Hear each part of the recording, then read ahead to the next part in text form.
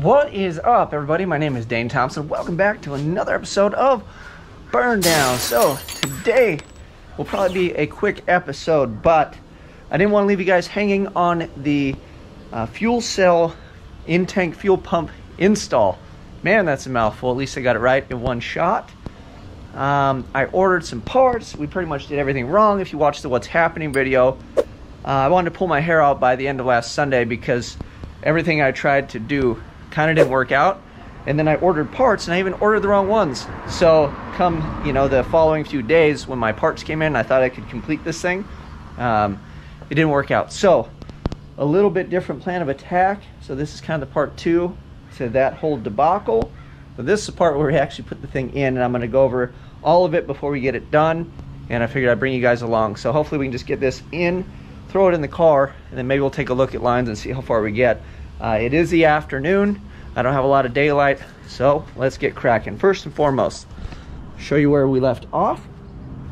So we got the thing basically mounted. We got it to fit in the hole, and then we had the problem with fittings and that whole nine. So this is what I decided on doing. If you watched the last video, I even had people comment, hey Dane, why don't you just run them separate and it outside of the tank? Well, I didn't want to. I thought it'd be cleaner to wire it in here and come out with one. And then I realized my return is already in the tank like a dummy and I'm just fighting myself and I ordered other parts and it was wrong. So this was the right way to do it. Although I do have and they do make uh, for future reference, they make a Dash 8 bulkhead that goes to a barb fitting and then you could just wire these one connection here and both pumps would come out at one, which would be slick. That's what I wanted to do. So for instance, in the Twinnebago, um, I'm gonna change back to the original tank. I've got another one of these that we're gonna set up um, in the Twinnebago and pull the plastic tank out of there because I have problems trying to fill it. So on that one, I'm gonna need both. So I'll need a feed and return. Granted, that's a single pump tank, but if it was something similar to that, um, you would do the two. But again, if you just use this and we did the eBay fuel cell setup, um, I could probably just eliminate one of these and just have a single feed, but let me know what you guys think. I guess we could always do the two just for options and you can cap one off, but I don't know. So anyway, this is how I'm gonna do it. We'll run dual lines, and then I got a Y fitting. So this is an eight. So we'll run dual eights to this, and then we'll run this into the filter, into the existing line there. So that's how we did it. Um, I also had buddy hit me up and say, hey, you guys put heat shrink on those, the E85 is probably gonna chew it up. So um, if that is the case, it does not matter if these are exposed other than if they are exposed and they touch. Obviously, you know, negatives and positives or positive on this guy. So we're gonna combat that with some zip ties and I'll just do the little chain link zip tie thing to kind of hold them. So that way they don't touch each other or go anywhere. And then we'll just zip tie this bad boy on here. We'll throw one here so it doesn't move around. So even if it came off, um, there's no way it's gonna touch anything that's important. And then we got to put the little guys around here. I got these on as best I could. These are a pain in the Royal Arse. So we'll clamp those up and hopefully that's good to go. Um, I did buy this, but it's funny because it, this is even worse to put on than this stuff. So I was trying to kind of fit it over the barb. So that's as far as we got. I put some heat on it. I feel good about it. And uh, we'll just clamp these on and call it a day. So that's where we're at with that. Let me kind of get it all set up. I already set the height. We cut the little nub off. So we are pretty well good to go. These are nice and tight. This guy's tight. I threw some silicone on the bottom of the all thread so we don't get any leaks poking out the top. So let me throw some clamps around here, a few zip ties, and then we'll slam her on home. And I think I'm just gonna silicone, you know, do like a little silicone gasket ring and call it a day. Ta-da! All right. it's not the prettiest thing, but I basically linked all these together and then they can wiggle together. So even if uh, the heat shrink bloats and falls off, we got the socks so hopefully they don't get sucked up and there's nothing it can hit on because it's kind of isolated for the most part, right? Right, that's what I'm telling myself. I'm good with that. So, uh, you gotta have something hokey, right? And if I have fuel problems or I explode, it's because of that. Anyway, we're gonna drop this bad boy in now, so that is my peace of mind. I have no idea if this is E85 rated. Uh, you guys can probably yell at me and let me know. Maybe we'll have to take a peek at it because I'll be able to see it, I think, in there from time to time. So if I see bare wire, we'll have concern. And if not, we're good, right? That's what I'm telling myself. Let me slam this thing on home. Uh, maybe we'll clean the car out and kind of put this back in place. Then we take a look at the uh, hoses. The day kind of got away from me. I had some stuff to finish up this afternoon, but we'll at least take a look at what we're up against. We'll get that handled hopefully this weekend. Uh, let's go. Okay, so I don't know if this is a genius idea or a bad idea. I think I'm going to put a little bit of silicone on each one of these before I thread it in. That way there's, I've got my little gasket made. Made a little bit of a mess, but I went around all the holes and then in a circular manner. Then I think I'll put a little bit on the threads just so it doesn't bleed up through these. And I think it should be good. I guess I could Teflon tape these, but um, we'll just goop it. I like the goop. So I'm gonna goop each one of these and then we'll slide it on home and then we'll tighten it up. This thing is gonna be looking fancy. All right, check that out.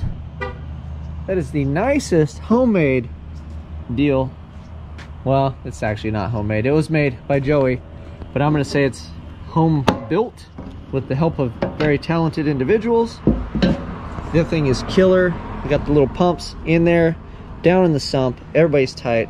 Everybody's happy. We got it silicone down. We got some zip ties thrown in the mix. So the next thing will be to make the lines, figure out which way we want those to go, and then I'll probably secure this um, somehow, something like that, or something. We'll find out. I think my battery's on this side, so we will see where the lines go and just get everything nice and clean. So, real quick, before I let you guys go, this is just a quick video. Look at all that dust, man. Dirt. So here is Oh, it didn't work. Let me try again. Okay, so here's the hole in my trunk where that piece comes out. And then there is the filter. And then I've got my pressure gauge. So if you watch the episode where I put this in, I had a lot of fueling uh, issues. So I put this pressure gauge in.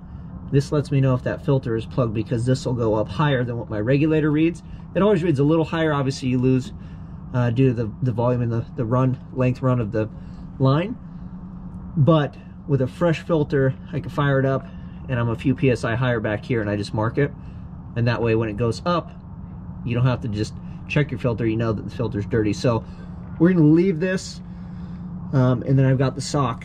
So I had a pre and then a post. I'm just gonna leave this and then we got the socks in the tank and that should suffice. Um, and then I think I'm gonna jump the lines out of here somehow. We may have to cut away more or whatever. And then we'll cruise it on over to there. Maybe I could do a bulkhead and we'll just do a soft line jumper. Something like that we could be really slick with.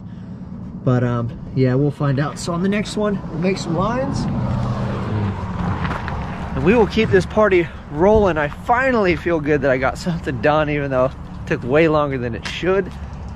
But we'll get the fuel cell stabbed in place, get the line made. Fueling is done. Um, I'm not gonna wire it up front or whatever. We'll just do it back here, call it a day because the stuff I had already made six and some change at the tire. So I know with more pump, we can at least make that, Uh, if not more. So we're, we're fine with that. We'll cross that bridge if we get there, if we run out of a lack of fuel, which you gotta be making some big boy power to do that. And then still waiting on Brian Tooley. And then the swap meet is on Sunday. So I have to get a new, I'm just gonna get a whole new oil pan. I know it sounds excessive, but they make a cheap like knockoff Holley version. And then that way I can do the oil drain on the same size as a turbo and that kind of cleans that up so we don't have oil drain issues. So I've got a plan. We got a bunch of stuff going. And then um, a few more things. I'm gonna raffle a motor, then we'll have enough money to get an ARC panel, and then we'll do some crazy quick wiring. Hopefully Joe can come help me and basically sort that out. And then we are close. Stab this thing in after an oil pan. I don't even need the spring, I can do that in the car. So we are getting close. Things are gonna go back together. Got the new converter from Ryan Jans that is spec for this thing. We got a little more converter on her, a lot more motor. This thing's gonna be fun. And then possibly, I got new wheels. We might try to squeeze uh, 275. So let me know what you guys think about doing that. I think I'd like to squeeze one in there and then I can always run the, the 235 or the eight and a halves, but I have the option of the larger tire. And I think just all in all, it might just be a better deal uh, to help amateur hour over here go a little faster. But let me know what you guys think. Till next time, hopefully you can still see me. Tell your friends, tell your neighbors, tell everybody. I'm out.